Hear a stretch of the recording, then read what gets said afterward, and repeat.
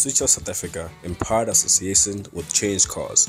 Change Cars is a trusted online website because they work with trusted dealers and the best insure in South Africa. Discovery Insure. Welcome back to Switch South Africa. I'm Nikki Nash as always, and today you guys join me in this beautiful Volkswagen Tiguan 1.4 Allspace. So the difference between this one and the normal Tiguan is the name Allspace and in this one you get two extra seats. So I'm gonna tell you every single, every single thing you need to know about this vehicle from the exterior, interior, the drive and cost of ownership. That's a new that's a new segment uh, in our videos, cost of ownership.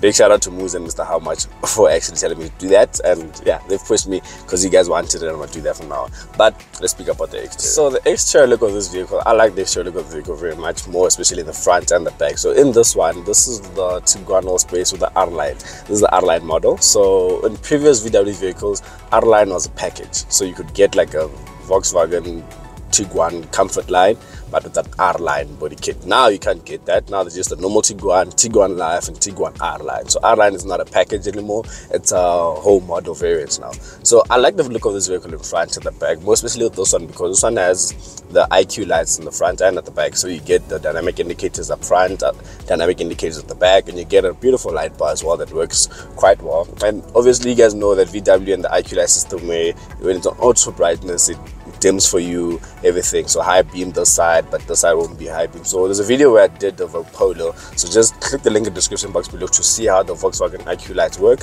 But let's look at the vehicle. I like it. I'm um, still not used to how big the vehicle is obviously because it looks slightly bigger than a normal tiguan at the back because of the two because there's two seats at the back.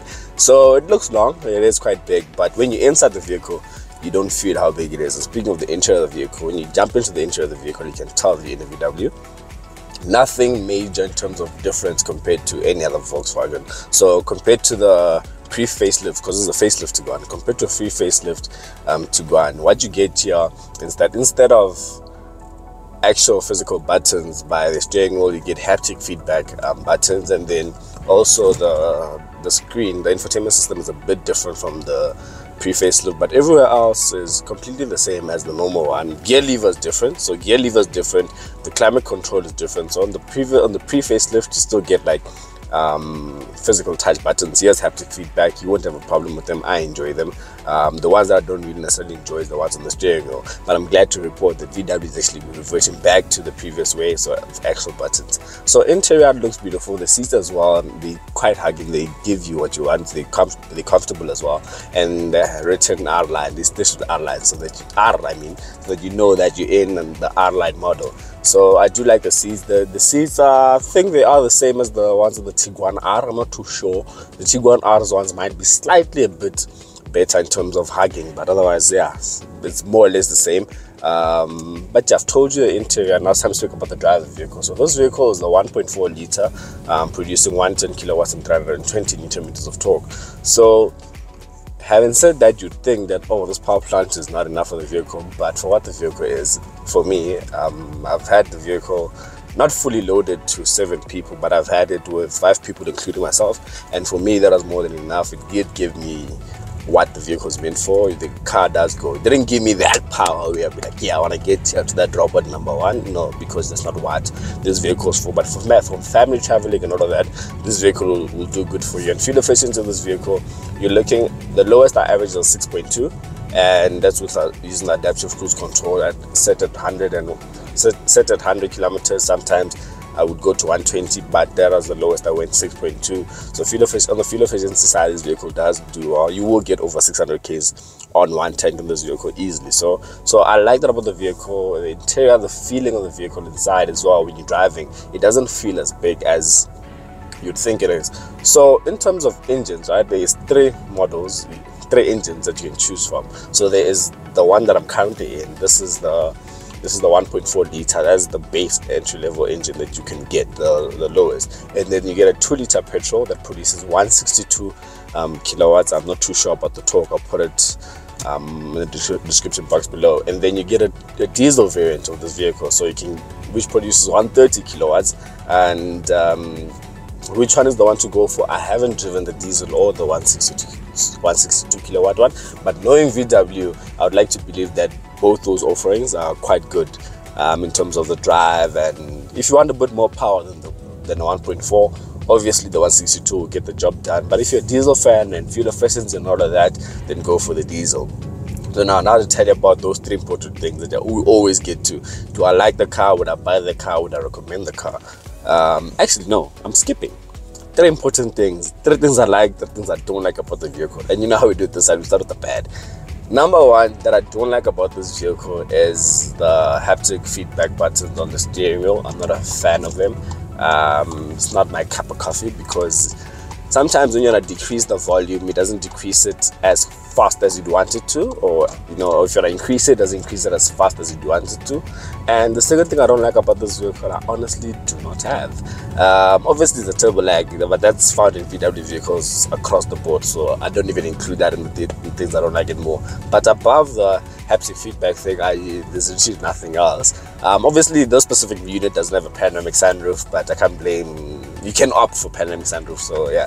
That's with regards to what i do like about this vehicle is obviously the haptic feedback buttons but other, other than that there's nothing else i don't like. The things i like about the car i like the look of the vehicle in front and at the back with those dynamic with those dynamic um, indicators. The second thing i like about the car is the overall feel of the vehicle when you're inside and the third thing i like about the car is the drive of the vehicle.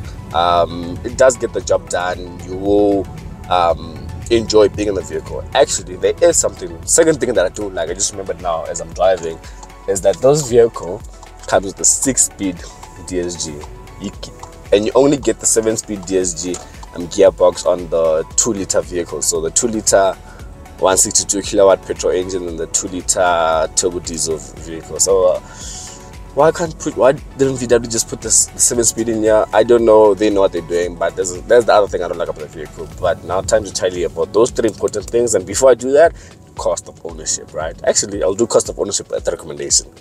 Those important questions: Do I like the car? Would I buy the car?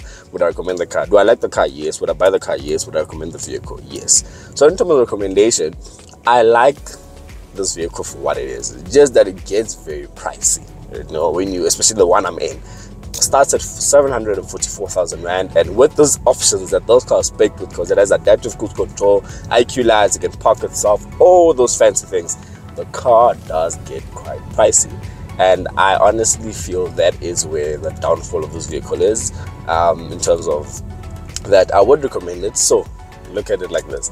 My previous test car was the Chery Tiggo 8 Pro Max, and that's a seven seater, and that essentially competes with this, but it's a good 100,000 cheaper than this and all of those things you know.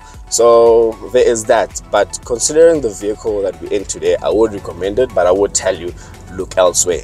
And being a seven seater depending on the type of person you are with this vehicle you are touching ford everest money. But a tiguan buyer and everest buyer are not the same person.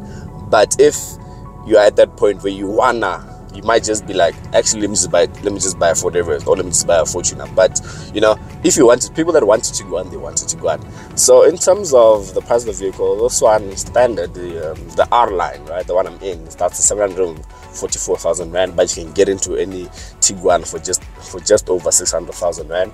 So that's with regards to the price of the vehicle, cost of ownership let's wrap it up with the cost of ownership.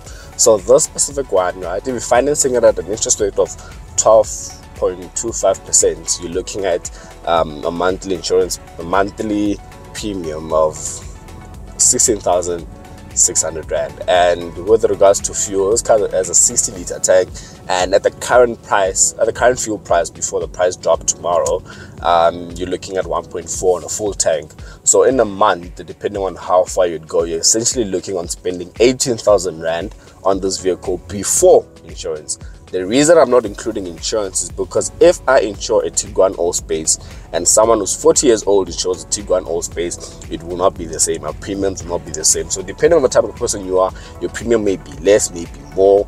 So I don't include insurance, but total total total cost of ownership without insurance for this vehicle, you're looking at you're looking at basically 18,000 rand and I've told you every single thing you need to know. Big shout out to Muzi and Mr. How much cost of ownership does feel good. And you're saying, you know, you do your research, you do say it.